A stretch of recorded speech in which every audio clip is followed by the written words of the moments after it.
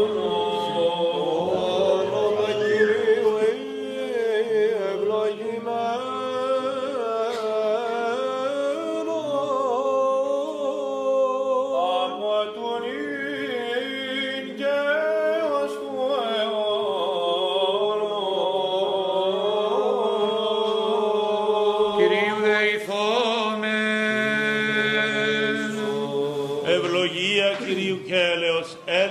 έρθει εφημάς, τι αυτού θεία χάρητη και φιλανθρωπία, πάντοτε νυγκαιαή και εις τους αιώνας των αιώνων. Δόξα Σοι ο Θεός, η ελπίσιμον δόξα Σοι, ο Αναστάς εκ νεκρών Χριστός ο αληθινός Θεός ημών, τες πρέσβειες Παναχράντου, δέσποινης ημών Θεοτόκου και Παρθένου Μαρίας, δυνάμει του τιμίου και ζώδιου Σταυρού, προστασίες των τιμίων επουρανίων δυνάμεων ασωμάτων, ηγεσίες του ενδόξου, προφήτου προδρόμου και βαπτιστή Ιωάννου, το Άγιον ενδόξου και πανέφημων Αποστόλων, το Άγιο δόξου Αποστόλου Βαρνάβα, του Ιδρυτού και προστάτησα για του Εκκλησίας, των Αγίης Πατροημών μεγάλων ιεραρχών και οικουμενικών δασκάλων, βάσει του μεγάλου γριώτου θεολόγου και αξιοστόμου, νεκταρίου πενταπόλεως, αυξηβίου όλων, των Αγίων και ενδόξων μεγαλομαρτύρων μάμαντος μυροβλήτου και πολυθμόρφου Γεωργή Τροπιοφόρ και Δημητρή του Ροβλήτου, των Αγίων ενδόξων χαματουργών αναργύρων, το ενασκήσει διαλαμψάν των αντών του Μεγάλου Σάββατο αγιασμένου αυτού εγκλήστου, Παχομίου, Ανθίμου και Νικηφόρου του Λεπρού, των Αγίων και δικαίων Θεοπατών Ακίμ και Άνης, των Αγίης Πατρός ημών Μιχαήλ, Επισκόπου συνάδων, που τη μνήμη επιτελούμε και πάντων των Αγίων, ελεήσε και σώσε ημάς αγαθός και φιλάνθρωπος. Αμήν. Στερεώσε Κύριος ο Θεός την Αγία και αμόμητον πίστη των ευσεβών και ορθοδόξων χριστιανών συν την Αγία και Ιερά Εκκλησία και κομιτάφτης αιώνας αιώνων. Αιωνία η μνήμη των μακαρίων και δημοστητόρων και αγγελιστών του Αγίου Κύριου Τούτου και πάντων των Ορθοδόξων.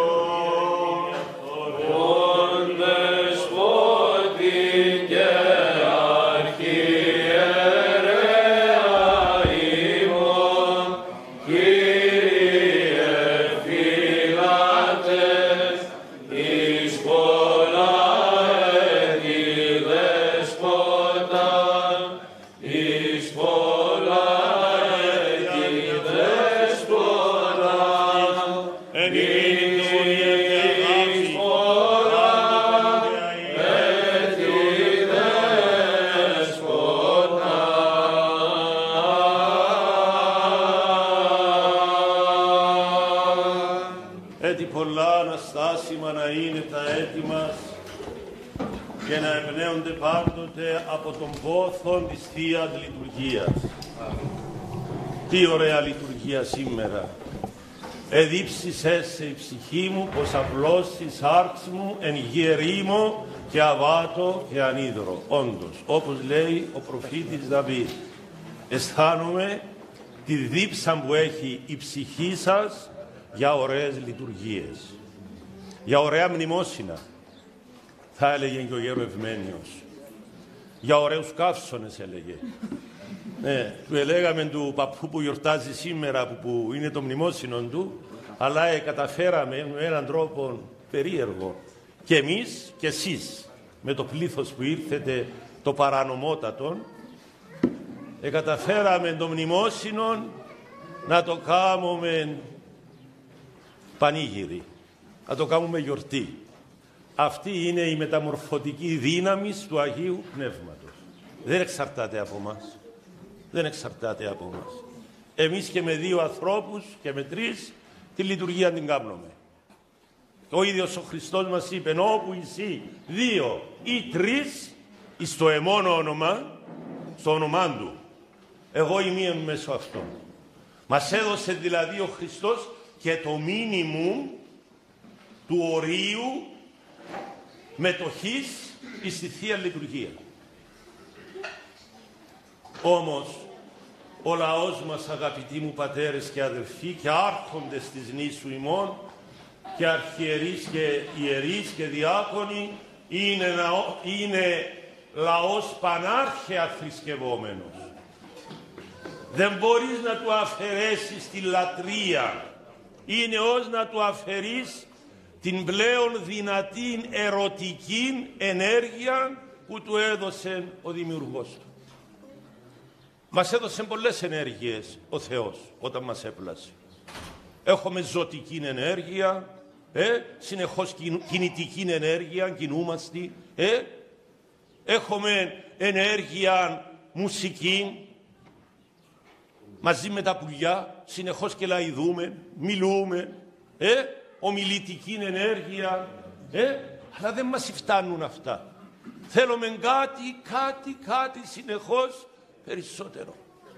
Αυτόν το κάτι, κάτι περισσότερο μόνον όταν αρχίσει η συχνότητά μου η επίγειος να συναντά την ουράνιον αρχίζει ο άνθρωπος να γίνεται άνθρωπος. Όπως λέει και ο όρος, ο ελληνικός, άνω φρόσκο. Αυτό σημαίνει άνθρωπος. Αυτός που βλέπει πάνω. Τα ζώα βλέπουν κάτω τα καημένα. Βλέπουν το χώμα που θα επιστρέψει στο χώμα. Ο άνθρωπος που θα πάει. Δεν θα πάει στο χώμα. Από τη στιγμή που εμπήκε μέσα στη μήτρα της μάνας του, γίνεται σιγά σιγά άμα θέλει και ο Θεός και συνεργαστεί με τον Θεό ο άνθρωπος, γίνεται αθάνατος. Ακούτε δηλαδή τι μεγάλη προοπτική έχουμε. Φτάνει να θέλουμε. Φαίνεται λοιπόν ότι στην Κύπρο που τη ζούμε και αλλού βέβαια ο κόσμος ο Ορθόδοξός μας παρόλα τα προβλήματά μας, τα χάγια μας το ακατήχητο Πάτερ Μιχαήλ εν του λαού μας που είναι ευθύνη πρώτα ημών των αρχιερέων και μετά ημών των πρεσβυτέρων όμως παρόλα αυτά ο λαός μας μέσων, το τονίζω συνεχώς αυτό, των συγχρόνων Αγίων ανθρώπων επιστρέφει με μια δυναμική ενέργεια στην μήτρα, που η μήτρα μας είναι όλους η Ορθόδοξη Εκκλησία. Αυτή μας γεννά αιώνια. Η μήτρα της μάνας μας μας γεννά για να ζήσουμε 70 χρόνια, 80, 100 το πολύ. Ε, άμα είσαι σαν τον Λισαρίδη πάει σε 100. μετά, μετά που θα πάμε μετά. Αυτή είναι η υπόθεση. Γι' αυτό έχουμε αυτήν την ροπή στη Θεία Λειτουργία. Και δεν σκεφτούμε θα νόμους και δεν σκεφτούμε θα λοιμώδεις ασθένειες και μικρόβια και ιούς με γιώτα. Γιατί αγαπούμε τον ιό με ύψιλο, τον υψηλό, τον ωραίο, κάλλη παραπάντας ανθρώπου, αυτόν που νίκησε τον θάνατο, αυτόν που νίκησε την αμαρτία, αυτόν που ενίκησε τον διάβολο. Εμείς θέλουμε να είμαστε με τον νικητή καλέ μου και ας πεθάνουμε αύριο. Αφού θα είμαστε μαζί με τον νικητή, ο θάνατος δεν θα είναι θάνατος, αλλά θανασία. Αυτό είναι το παράδοξο που δεν μπορούν να καταλάβουν οι ολιγόπιστοι, οι άπιστοι, ε, οι άλλων ιδεολογιών άνθρωποι. Δικαίωμά τους, αλλά έχουμε και εμείς δικαιώματα. Δεν πρέπει να το ξεχνούν αυτό, αφού είναι άνθρωποι του διαφωτισμού και της μεγάλης Ευρώπης. Έχουμε και εμείς δικαιώματα. Τώρα ασκούμε τα δικαιώματα μας. Με όποιους τρόπους ξέρει η Ρωμαϊκή νοοτροπία μας, που δεν είναι πάντοτε η καλύτερη, ε, αλλά αυτήν έχουμε εμείς. Άλλοι έχουν άλλοι, εγγλέζικη, γαλλική, αφρικανική. Εμείς έχουμε ρωμαϊκή. Έλεγα της μάνας μου, άμα είναι ωραία ελληνικά που μιλώ, όχι μου, συντυχάνεις ρωμαϊκά. Ε, και με, μου έδινε μια άλλη διάσταση της ελληνικότητας, πολύ μεγαλύτερη από την Ελλαδίτσα, πολύ μεγαλύτερη. Λοιπόν, σήμερα που εκφράσαμε αυτόν τον πόθον για αιώνια ύπαρξη, για αιώνια ζωή, σε αυτήν την τόσο δοξαστική και μυσταγωγική λειτουργία εδώ στο ατελές, όπως βλέπετε παρεκκλήσεων, του Αγίου Νικηφόρου του Λεπρού, αφενός μαν είναι η μέρα, πώς τα κανόνισε ο Γεροευμένιος, η πρώτη μέρα που υπάρχει πλέον η ελευθέρα με όρους βέβαια και περιορισμούς που εσείς δεν τους ετηρήσατε, τα πρόστιμα δικά σας. Εγώ αρκετά επλήρωσα. λοιπόν, Εκανόνισε τα έτσι ο γεροευμένιος, ο μαθητής του Αγίου Νικηφόρου και ο εγγονός του Αγίου Αθήμου, σήμερα να είναι η πρώτη μέρα που υπάρχει μια τρόποντινα διευρυμένη και έστω υπό περιορισμούς και όρους ελευθερία προσέλευσης των Ορθοδόξων πιστών και όλων των ε, θρησκευτικών ανθρώπων στη λατρεία τους. Ε; Σήμερα τρόπον την πιστοποιείτε εσείς ότι είστε άνθρωποι. Με βάση ό,τι είπαμε προηγουμένως. Ότι δεν σας φτάνει μόνο ένα πιάτο φαΐ και λίγη υγεία 70-80 100 χρόνια. Όχι. Αυτά είναι πολύ λίγα μπροστά στην αιωνιότητα. Θέλουμε αυτόν το σώμα, επαναλαμβάνω, και αυτόν το αίμα που ενίκησε το θάνατο. Θέλουμε να προσκυνήσουμε την εικόνα της Παναγίας μας, που έδωσε σώμα εις το Θεό, αυτό που δεν είχε ο Θεός, και έγινε από Θεός Θεάνθρωπος. Θέλουμε να προσκυνήσουμε και αυτούς που έμοιασαν αυτού του θεανθρωπίνου σώματος. Σήμερα τον Άγιο Μιχαήλ, επίσκοπος συνάδων, στη Μικρά Ασία επίσκοπος αυτός. Είναι η κονίτσα του εκεί αγωνίστηκε για να προσκυνούν οι χριστιανοί πριν χίλια χρόνια και πλέον τις εικόνες. Χωρίς απολυμαντικό. Ε, χωρίς πλεξικλάς. Απευθείας. Ότι μια εικόνα είναι ολοζώντανος, ο Άγιος, φτάνει να το πιστεύεις. Αν έχεις αμφιβολίες, καλύτερα μην κοινωνεί. Μην, ούτε να κοινωνήσεις, ούτε να προσκυνήσεις. Δεν χρειάζεται να κολλάζεσαι. Κάτσε έτσι πίσω, πίσω και πες Χριστέ μου, σε πιστεύω, αυτά που θα σας πω είναι του Αγίου Ευμενίου, εκείνου του παππού εκεί. Μου τα έλεγε ο ίδιος. Χριστέ μου, σε πιστεύω, για να μην διορθώνομαι όμως, φαίνεται σε πιστεύω λίγο. Ακού τι ωραία το έλεγε. Βοήθαμε να σε πιστεύω περισσότερο. Κάθε μέρα να σε αγαπώ Χριστέ μου και πιο πολύ. Και να μην σε χορταίνω να σε αγαπώ. Και να θέλω να σε θέλω, ακούτε πώς θα θέλω έβαζε. Και να θέλω να σε θέλω όλο και περισσότερο στη ζωή μου. Ε, σας ερωτώ, αν αυτό δεν είναι έρωτας, τι είναι έρωτας; Πεστε Θέλω να σε θέλω κάθε μέρα όλο και περισσότερο. Δεν αλλάζω όμως, είμαι συνέχεια ο ίδιος. Για να μην αλλάζω, φταίω εγώ. Ο Θεός θέλει να με πλησιάσει. Ο φιλάνθρωπος. Συμπονετικός. Σπλαχνικός Θεός. Δεν αλλάζω, του λέει, γιατί εγώ θέλω λίγο, σε θέλω Χριστέ μου λίγο. Τι μεγάλη υπόθεση που είναι αδερφοί μου το θέλω μου. Το θέλω σας. Ψάξτε βαθιά μέσα σας. Τι περισσότερο θέλετε. Και τότε θα καταλάβετε που είναι η ψυχή σας. Ήρθε ένα να ξομολογηθεί, μου λέει, ε, να μου πούμε, άμα τίποτε νομίζεις, μου λέει, μια ευχή να μου διαβάσεις να πάω να κοινωνήσω. Α, του λέω, εδώ δεν γίνονται αυτά. Θα ψάξεις να βρεις την αμαρτία να πεις. Διαφορετικά ευχή δεν σου διαβάζω. Θα πάρεις τη προσκυνήσεις το αμαρτωλό μου χέρι και για άλλα. Λέει μου, μα τι να βρω τώρα να πω. Του λέω, σε βοηθήσω λίγο, μου λέει ναι. Διαδίκτυον έχεις, ναι. Σε τι στο σελίδες μπαίνεις. Τι θέλεις περισσότερο να μπαίνεις. Αυτό που θέλεις να μπαίνεις στις ιστοσελίδες είναι ο βαθύτερος σου εαυτός.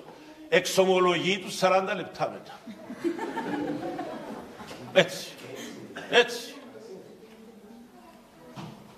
Άρα τι σημαίνει αυτόν; Ότι είναι πολύ πολύ μεγάλη υπόθεση να παρακολουθώ τις επιθυμίες μου, τα θέλω μου, τα βαθύτερα και αυτά να τα εξομολογούμε. Ότι δεν είναι βάσει των εντολών του Ευαγγελίου μας, του Χριστού μας, της αγάπης μας. Όποτε προδίδω την αγάπη μου με τον Χριστό και αποδεικνύεται λίγη, να μετανιώνω πρώτα και μετά να ξομολογούμε. Αυτά μας έμαθαν οι γέροντες ευμένοι, οι γέροντες Πορφύρι, οι γέροντες Παΐσι και όλοι αυτοί οι άνθρωποι του Θεού και εν Ελλάδη και εν Κύπρο. Ο σήμερον μνημονευθής που έγινε αιτία αρκετή να έρθετε σήμερα εδώ, που είναι η δεύτερη αιτία της Μεγάλης Σύναξης, ο γέρον Ευμένιος, όπως ξέρετε, είναι κριτικός στην καταγωγή από την Εθιά, γεννήθηκε το 1931 και Επήγαινε, έγινε καλόγυρος πολύ μικρός, μετά που ήρθε το άχτη το φως μέσα του μια πρωτοχρονιά και 14 χρόνων λέει της αδερφής του της Αμαλίας μόλις ήρθε το φως μέσα του Αμαλία θα γίνω καλόγερος. Τώρα το μιμούμε, έτσι απότομα μιλούσε. Αμαλία θα γίνω καλόγερος. Και πήγαινε και έγινε καλόγερος. 14 χρονών παιδί. Στον Άγιο Νικήτα. Έναν παραλιακό ασκητικό μονάστηρος, σπηλαιομονάστηρο, σπήλαια ήταν. Με δυο καλογέρους. Εκεί. Στα 18 του έβγαζε δαιμόνια. Ακούτε, στα 18 του. Είδε την Παναγία πολλές φορές, τον Άγιο Νικήτα. Λοιπόν, στα 22-23 ο νόμος έλεγε να πάει στρατόν. Τον εξήρισαν και τον έστειλαν και πήγε στρατό. Πού η σημερινή νεαρή; Επήγε στρατό, ήταν ο καλύτερος στρατιώτης. Εκεί αρρώστησε. Πήγαινε στο γιατρό, δεν βρίσκαν, δεν έπεφταν ο πυρετός. Τι έχει, τι έχει αυτός ο στρατιώτης, ο καλόγερος, τι έχει. Του λέει ένας εξυπνάκιας γιατρός, γνωρίσαμε και τελευταία πολλούς εξυπνάκιδες γιατρούς.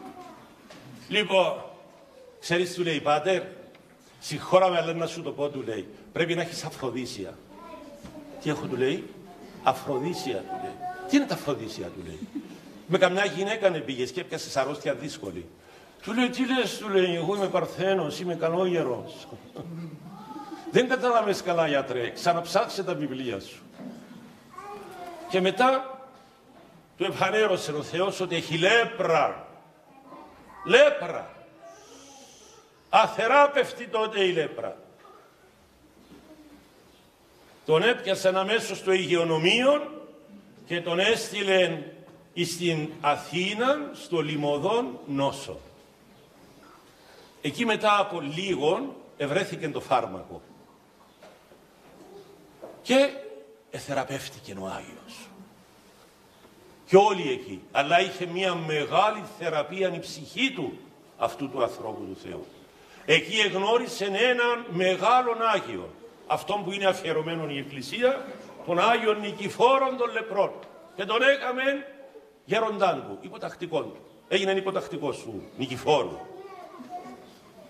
Κοιτάξτε όμως τη δικαιοσύνη του Θεού και ότι πρέπει συνεχώς ο στόχος μας όπως μας έλεγε να είναι η ταπείνωση. Θέλετε μου λέει ένα στόχο να έχετε στην καθημερινότητά σας; Πώς να είμαι ταπεινός την ημέρα που θα περάσει; Αυτό μου λέει να σκέφτεσαι συνεχώς. Είναι πολύ δύσκολο αυτό. Πολύ δύσκολο. Όσον και να ακούετε ωραία. Όποιος λέει θέλει να αποκτήσει αρετές, πρέπει προηγουμένως να ζητήσει επίμονα έστω και λίγη ταπείνωση. Του έλεγα μια μέρα, του λέω Γερόντα, γιατί επιμένεις τόσο πολύ με την ταπείνωση, αφού είναι το πιο δύσκολο. Και μου λέει, διότι έπαθα τη γέ μου. Και θέλω να την πάθετε εσείς. Τι έπαθες, του είπα. Μου λέει, όταν ήρθα εδώ και ήμουν δίπλα από το γέρο Νικηφόρο, και έβλεπα και Αγίους μου λέει και τη λειτουργία όλη την έβλεπα και τους αγγέλους επερηφανεύτηκα ότι έγινα Άγιος. Και μια μέρα μου λέει όπως κατέβαινα τα σκαλιά ένιωσα λέει ένα σκαμπίλι, ένα χαστούκι να τρώω και αμέσως λέει δαιμονίστηκα. Καλό γερός. Ευμέ, τότε ήταν σοφρόνιος. Και μου κάνει εντύπωση η ταπείνωση του Αγίου Νικηφόρου. Δεν του είπε, έλα πάτερ να σε διαβάσω. Όχι, για να ταπεινωθεί ο υποτακτικός του είπε, εγώ λέει είμαι καλόγυρος. Οι καλόγεροι δεν διαβάζουν εξορκισμούς. Να πάτε σε παπάδες νηστευτές, ασκητικούς. Και τον επήγα στην Κρήτη, στο μοναστήρι του, και αν προσέξετε, εμνημόνευσαν ο Διάκος και οι πατέρες μας έναν άλλον όνομα, Νικοδήμου Ιερομονάχου, δεύτερον τη τάξη. Αυτός ήταν που του έβγαλε το δαιμόνιο, ο Νικόδημος. Και αυτός κριτικός. Άγιος.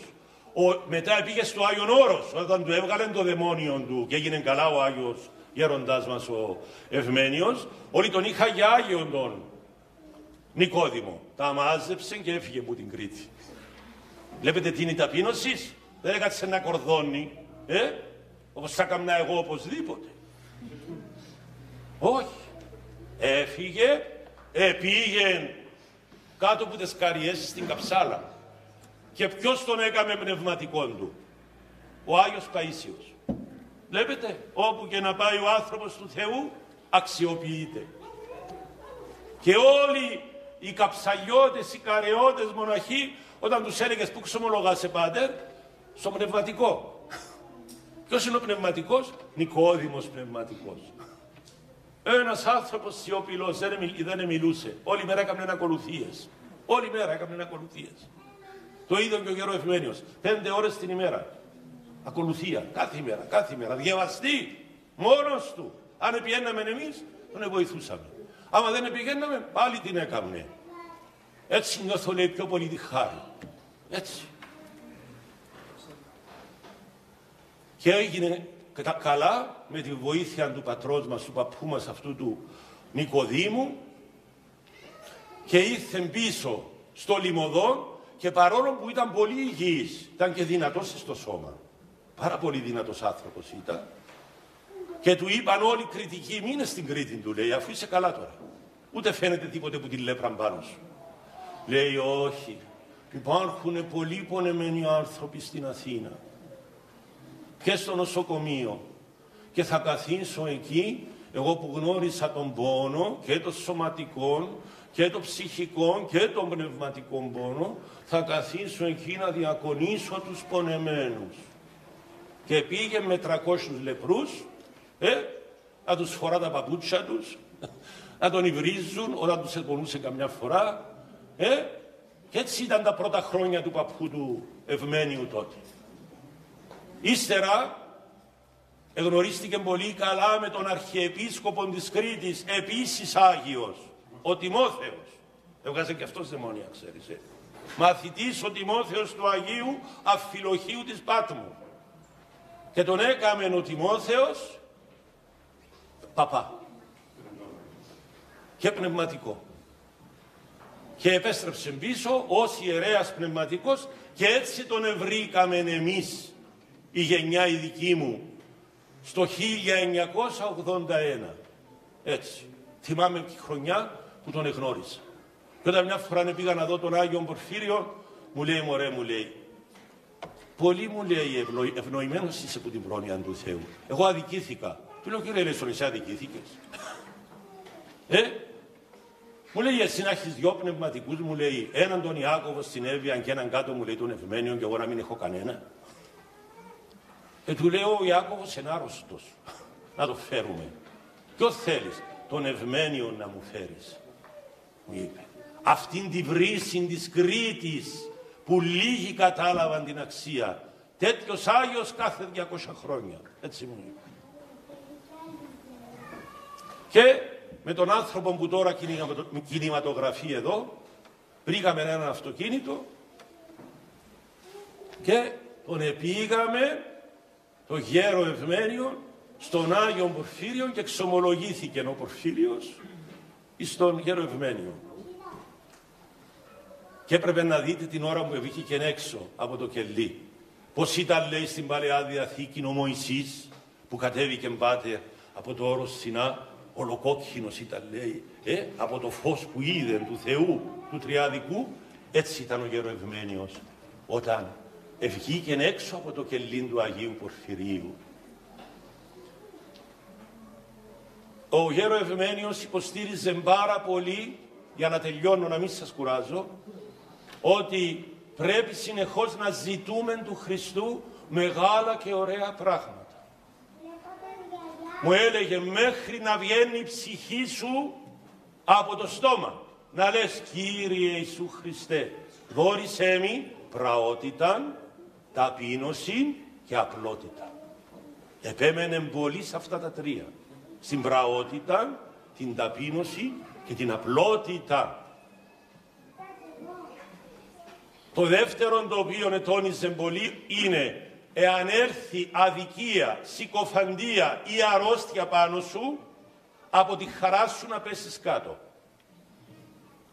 Όταν του είπαν ότι έχει λέπρα, από τη χαρά του έπεσε κάτω από το κρεβάτι. Και του λέω, μα πραγματικά χάρηκες. Μου λέει, βέβαια χάρηκα. Του λέω, γιατί χάρηκες.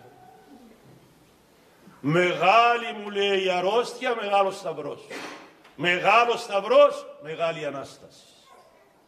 Ενώ η Ευρώπη τα αναποδογύρισε όλα. Ε; Και μόλις έρθει αρρώστια έρχεται η θλίψης, η κατάθλιψης, η μουρμούρα, το παράπονο, η ολιγοπιστία, η απιστία.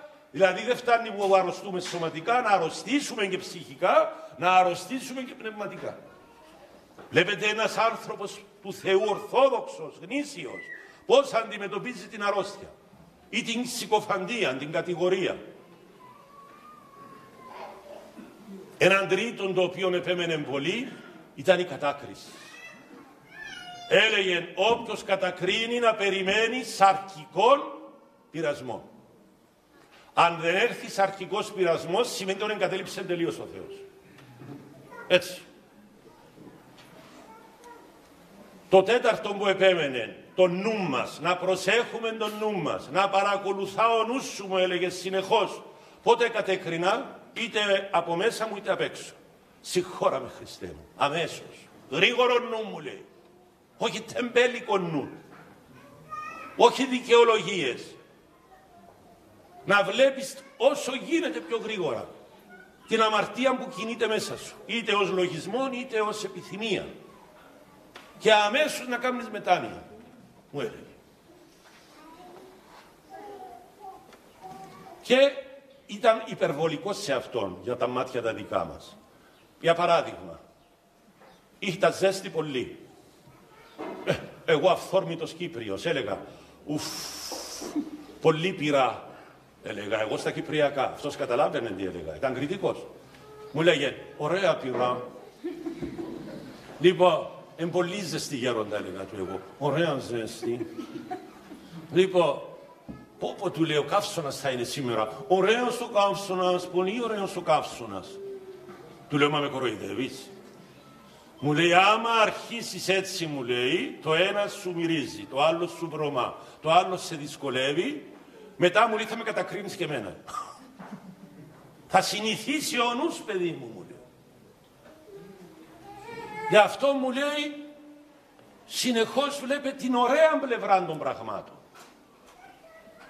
Αφού του τα έλεγα του Αγίου Πορφυρίου, όποτε πήγαινα και μου έλεγε, τι λέει μωρέ, τι λέει ο, ο Ευμένιος; Και ήθελε να ακούει λόγια του Ευμενίου για να εμπνέεται; Επίσης δεν του άρεσε να πενεύουμε τους ζωντανούς. Ε, να λέω τι καλός παπάς είναι ο Πάτερ Μιχαήλ.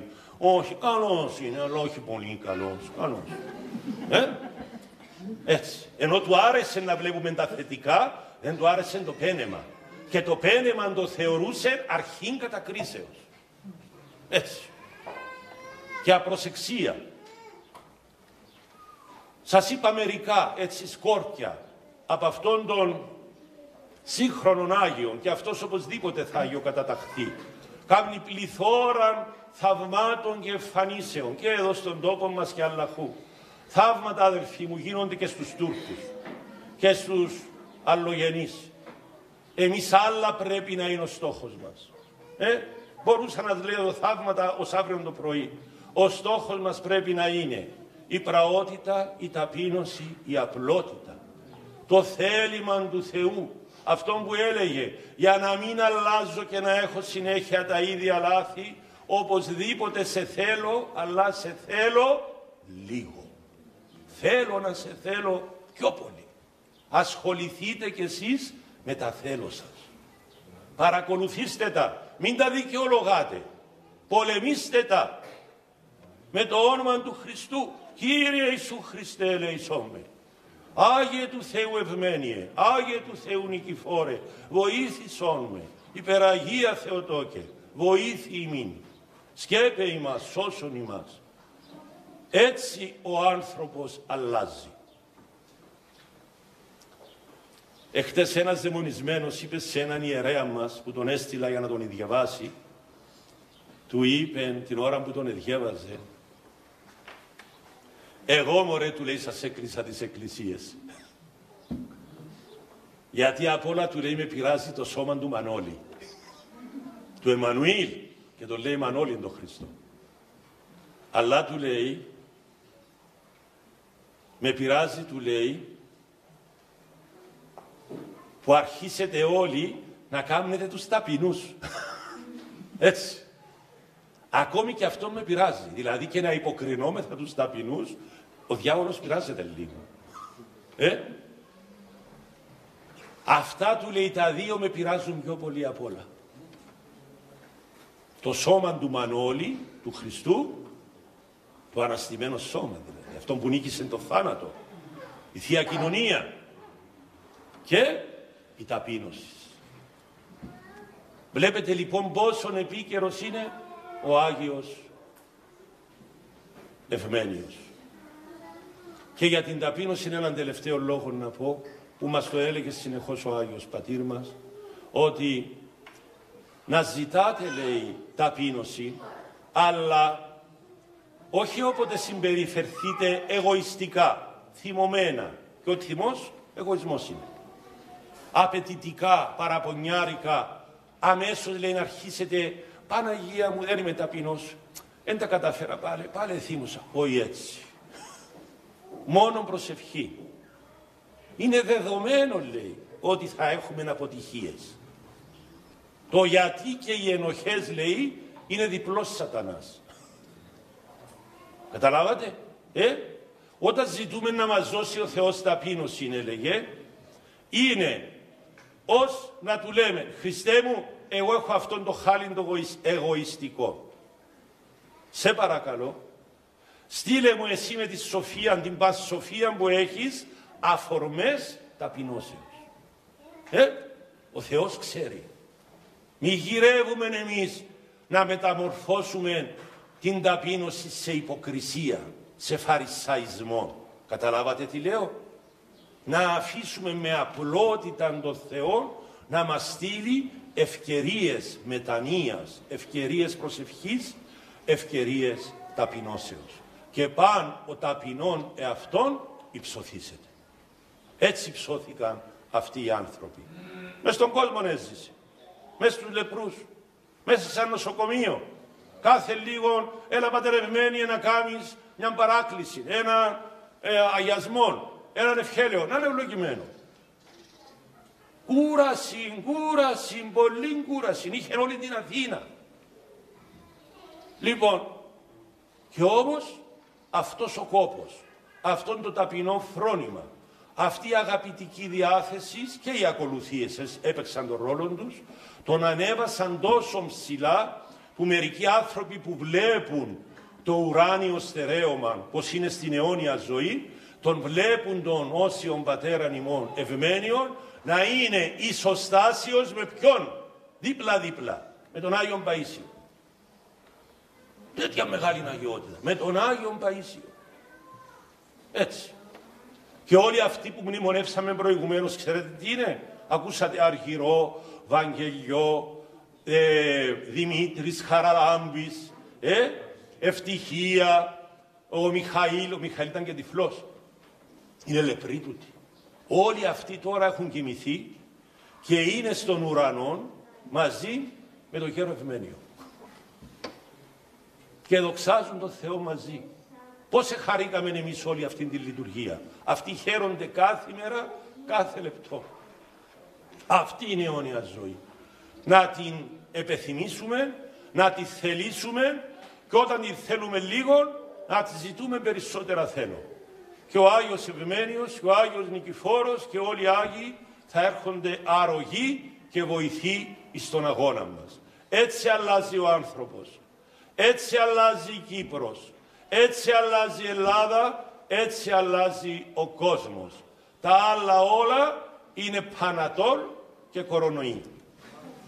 Χριστός Ανέστη εκ νεκρών, θανάτω θάνατον πατήσας και της εν τη μνήμαση, ζωή χαρισάμενος. Αληθώς Ανέστη ο Κύριος. Διευχών του Αγίου Δεσπότου ημών, Κύριε Ιησού Χριστέ ο Θεός ημών, ελέησον ημάς. Αλλιεγόταν να πούμε στο λόγο ότι είναι το πετραχύλι που φορούσε να Ναι, μπράβο, ευτυχώς που το Ευμένιος. Επίσης, να προσκυνάτε το πετραχύλι του παππού που μας το έδωσε αυτόν εκεί και να πω δύο ανακοινώσεις να σε καλά Πάτερ Μιχαήλ. Απόψε είναι ο Εσπερινός στην Ευρύχου του Αγίου Κυριακού, της Ευρύχου του Κυριακού. Και αύριο θα έχουμε την πανηγυρή του, εις τον τάφον του, εις το νεκροταφείο. Εκεί. Επίσης, οι άνθρωποι που έχετε διάθεση για αγρυπνία, είπαμε με τους πρωτοψάλτες μας να κάνουμε αγρυπνία της αναλήψεως. Εμείς δεν κάνουμε στη Μητρόπολη Μόρφου αποδόσεις. Λοιπόν, θα κάνουμε αγρυπνία της αναλήψεως. Δηλαδή, Τετάρτη νύχτα προ στο ησυχαστήριο του Οσίου Σεραφείμ του Σαρόφ. Όσοι πιστοί προσέρχονται.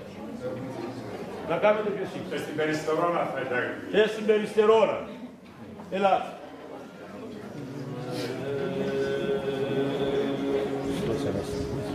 Εντός της